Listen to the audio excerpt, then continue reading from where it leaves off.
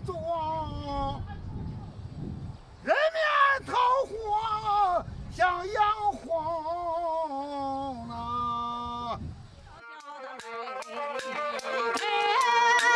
杨柳儿耍草榴的。杆儿，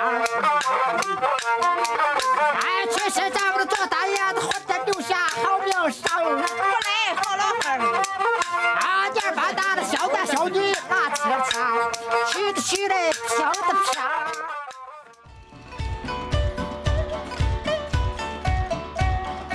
China is full of astonishing local folk music traditions, often rooted in the art of storytelling. And the lives of the bearers of these traditions are part of the story of modern China. Once we leave the bright concert halls of Beijing or Shanghai, music is a vital part of daily life in poor rural communities.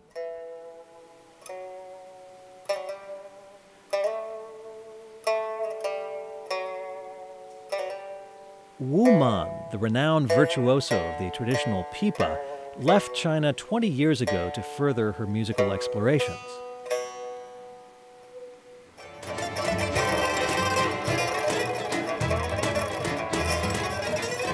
Since then, she's adventured widely through the world of music, successfully introducing the pipa to Western audiences and working with some of the great composers and musicians. But she's never forgotten her roots. Now, Wu Man has returned to her homeland, to a very different China, and discovered the vital, ancient roots of a musical culture facing unprecedented challenges. I was born in an artistic family, and uh, my father is artist. Um, so I grew up with this sort of very artistic situation around me, and uh, so very naturally for me to start to pick up the traditional music. When I was age 13, I went to Beijing and uh, a Central Conservatory music school to study pipa.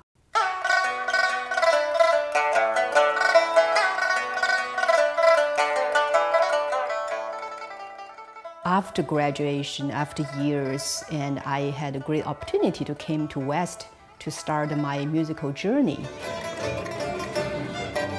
Fortunate enough for me, I worked with so many wonderful and the greatest musicians and, and composers. I love the creation to, to making new music, but of course, the traditional music um, is always in my heart. Daily life in rural China is filled with incredible musical variety and ancient local traditions.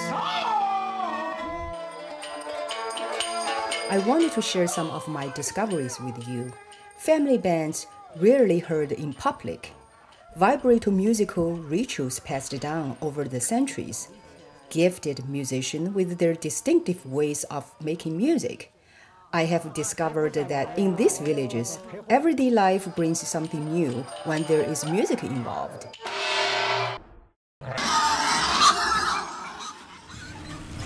This is another world. Dusty, decrepit villages, still largely dependent on the heavens to bring water for their crops. Life may be more free now than it was 20 years ago, but it is still very tough. The lives of folk musicians and the ways they learn are very different from us urban musicians.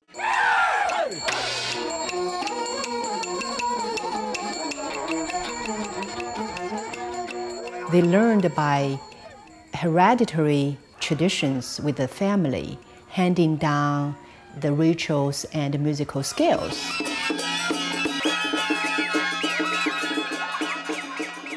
For example, like the Taoists, Li Family Band.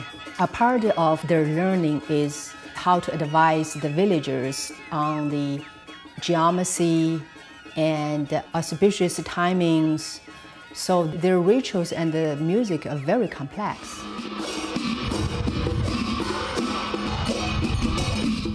These bands are mainly hired for village events, such as village temple fairs, weddings, funerals, ritual ceremonies, and New Year celebrations.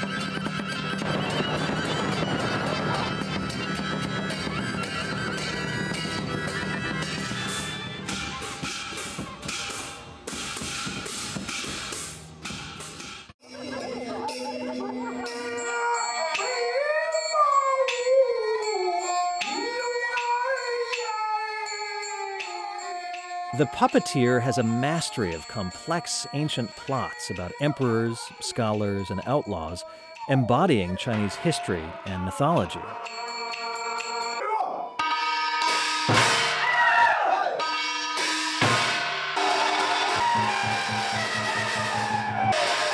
I never cease to be amazed at their musicianship, their flexibility. Over the past 20 years, China has become westernized in many ways. Traditional music is not as active as it once was.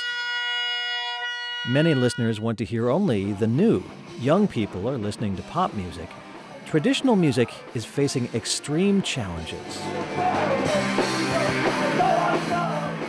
I don't like to think that this incredible music that has been accompanied lives for local communities for so many centuries just simply disappeared because of the pop music. It will be shame if I not do the documentary. And I hope someday um, we will remember there is incredible, rich Chinese traditional music which passed down for centuries was existed in rural China.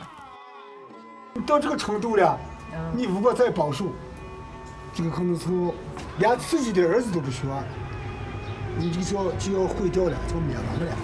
嗯不学了，没有什么念书了，没没有没钱。干这个没有什么前途。I have returned to my homeland to document the roots of traditional Chinese music before it disappears altogether, revealing a world of people and sounds simply forgotten or perhaps never known to the outside world.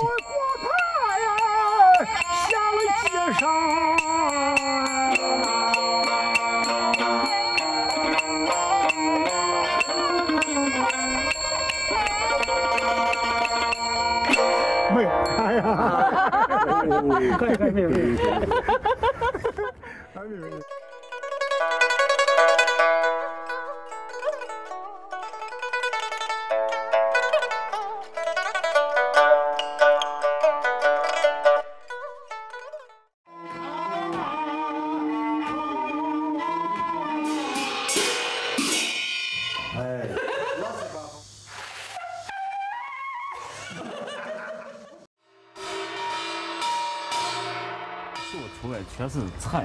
种的菜韭菜啊葱呀嗯黄瓜啊。嗯大葱。嗯嗯。西红柿啊。萝卜。萝卜啊。嗯。